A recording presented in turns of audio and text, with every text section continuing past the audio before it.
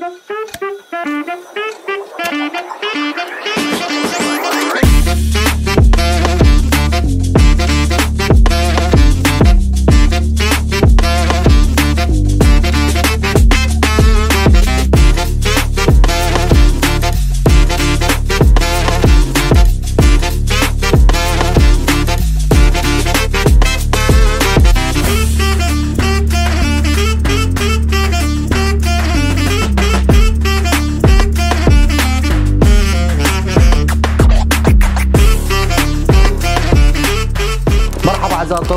والطالبات الصف أساس إعدادي دفعة 2024 أعزائي الطلبة. اليوم نشوف حلقه رقم أربعة تكون خاصة بحل أسئلة وزارية خارجية والب... يعني منهجية ماكو. مال يا موضوع اللي تم شرحه لكم في الحلقة السابقة. يا مواضيع الأربعة لا تنساها. إعطاء النصيحة الطلب المهذب تكوين الاقتراح تكوين العروض. إذا ما شايف الحلقة أوقف روح شوفها وتعال. ما تفهم شيء. أوكي حبيبي؟ يلا ابطال طلع. ملزمتنا الأفضل بالعراق حاليا. صفحة 68 حبيبي. حلك أسئلة الوزارية. شباب طبعا أكيد بعد ما أكملنا الوزاريات مال الموضوع الأول هذا يعني بكل بكل تفاصيله لكم نجي هسه إلى الموضوع الثاني. عندك أول موضوع جايك ثلاث مرات الوزاري هو الطلب المهذب هذا فيه؟ إيش بيك؟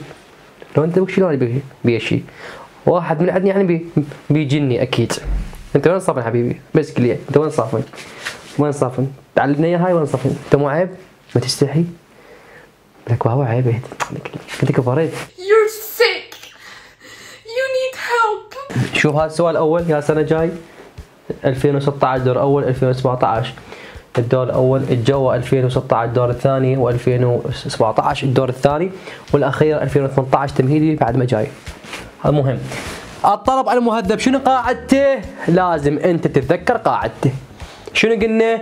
أما أستخدم وديو أو كديو أو كانيو أو مي آي. زائد فعل. زائد أكمل لك الجملة. فارزة please استفهام. قلنا ال may I متى أستخدمها؟ فقط إذا عندي الفعل see مو تنسى. تعال. الأول عندي give يعني مو see بكيفك؟ تستخدم أما ال would.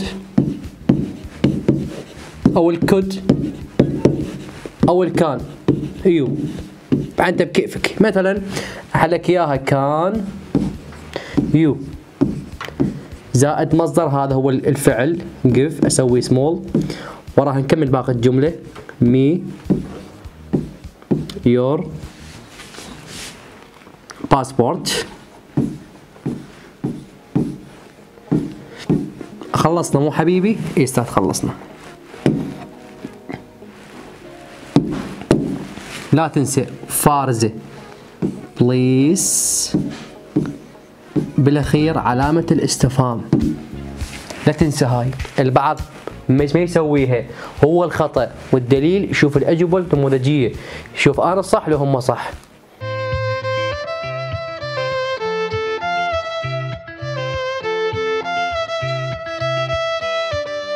الثاني شو يعني مو see كيفك؟ مثلا تستخدم would you زائد مصدر شو؟ أكمل باقي الجملة. me your passport. خلصنا. فارزة. please. علامة الاستفهام. okay حياتي. زين السؤال الثالث عندك see شنو؟ العفو آسف. قلت حياتي. جاسم قلت حياتي. آسف. مو بعدني يعني باجواء الرومانسية. كنت شوي حبيبتي. بعد يعني قاعد حماس. شفت يا حبيبي وفرحت معاه كان وصلي جميل. حلو يا محلاه حلو يا محلاه تبع اعزائي الطلبه زين سي. يعني فقط ويا مي آي دير بالك مصدر الفعل سي أكمل الجملة. يور تكت خلصنا. إيه فارزة. please استفهام. ها انتهى هسه انتهى من أول موضوع. دير بالك عليه. okay؟ يلا ابطال تعال هسه. عندك الموضوع الثاني. من هو؟ جد علي سؤال بس حرامات. ما لك علاقة؟ ما لك علاقة؟ الأمثلة اللي انطيك اياها الامثله شباب يعني فد فد يعني فد ملاحظة حلوة. واحد يقول لي يعني كارثة بال بالقرآن أنتم كارثة. واحد شو يقول لي راح أحفظ الأمثلة أستاذ مال منهج مال القواعد أنت غبي حبيبي. بس قل لي أنت غبي. لك بس يعني أنت شنو أنت؟ لك القواعد ما تجيك. جمل منهجية احتمال 15% كله خارجي حبيب القواعد كله خارجي. أنت حافظ القاعدة. اجعل أكبر سؤال. أنت إيش عليك؟ إيش عليك يا أخي؟ هسه انت هسه أنت مو حافظ قاعدة؟ هسه شنو هالجمل هاي؟ هاي شنو الجمل؟ كلها خارجيه وقف هسه أنت. وقف الحلقة. وقف الحلقة. تعال هنا وتعال. تعال هنا وتعال. راح أشوف نفس الحل مالي. ليش؟ أنت حافظ قاعدة حبيبي. أوكي؟ زين. نحلك. يلا عيني. الموضوع الثاني اعطاء النصيحة. شنو قاعدته؟ قلنا you ما يعطيك الفاعل. أنت حافظه. you زائد should زائد مصدر. بالنفي you زائد shouldn't زائد مصدر. بالسؤال أقدم ال should على الفاعل. يقلب من you إلى I زائد مصدر. تبغى أخي شنو؟ استفهام. okay؟ وعندنا شنو؟ عندنا عندنا ملاحظة. قلنا باعطاء النصيحة. إذا عندك الفعل ليف يستخدم مع النفي فقط. لا تنسى. الفعل ليف شنو؟ يستخدم مع النفي فقط. مو تنساها. وضحناها لكم بالحلقة السابقة. تعال هسه حلي. جو ما عندك مجمجات جوا. هسه حلك اياه فوق. زين. عندك نفي عندك سؤال لا. يعني بحالة المثبت. الفاعل you أنت حافظه من يمك. زائد should. هاي ال should مال القاعدة أنت حافظها. زائد مصدر هو الفعل keep. ينزل. وراها تكمل باقي الجملة. خلاص هاي انتهى. السؤال الثاني عندك leave يعني شنو leave نفي.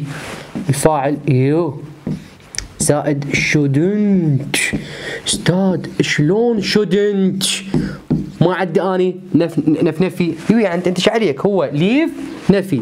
زائد مصدر الفعل leave وأكمل باقي الجملة. انتهى الموضوع. سهل صعب. الثالث هو عمل اقتراح يعني يا اقتراح شنو قاعدته مال اقتراح؟ هذا المو... يعني الموضوع كلش تافه. السهل عز اعزائي الطلبة سهل سهل يعني مي مي. من هو؟ أما تستخدم let's زائد مصدر أو we could زائد مصدر أو shall we زائد مصدر. بس. بس هذولي بس بس بس. يعني ما بي لا ملاحظات ولا تلاعب. تكوين اقتراح. مثلا كيفك كيفك. مثلا تقول لي let's let's زائد مصدر take خلاص وتكمل باقي الجملة. A taxi to the airport. خلاص. الثاني مثلا تقول له we could زائد مصدر go capital small لا تنسى ها ترى يحاسبك تكمل باقي الجملة. to the shops before the plane leave. خلاص. سهل صعب الله عليك. تعال. الثالث. مثلا تنطي let's كيفك؟ زائد مصدر. مصدر buy capital small مو تنسى. مو تنسى. أكمل. some magazines before boarding the plane. خلاص. الرابع. مثلا تستخدم we could كيفك؟ زائد مصدر capital small مو تنسى. ها أكمل. In the تبار عفوا.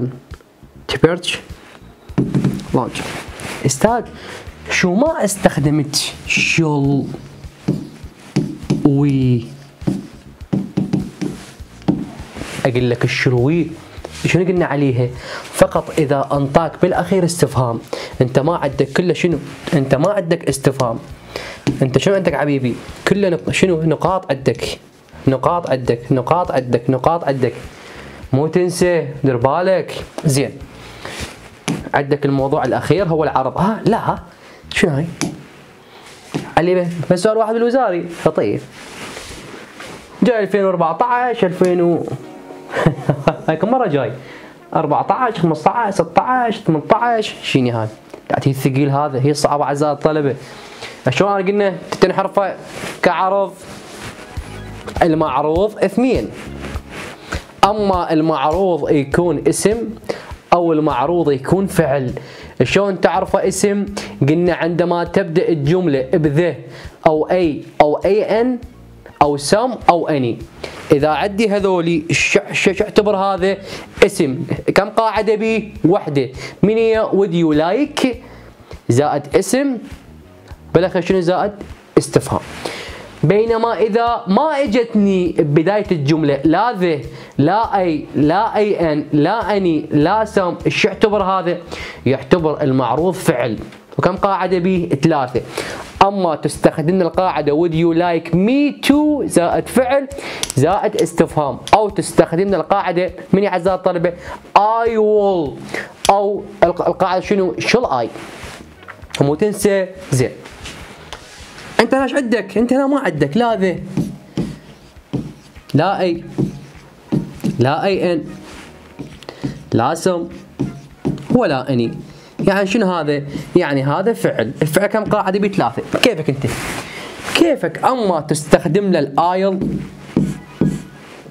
بس يعني بس يعني ك يعني الأصح تستخدم بس ال I'll، ليش؟ لأن انت عندك بالأخير نقطة مو استفهام، دير بالك.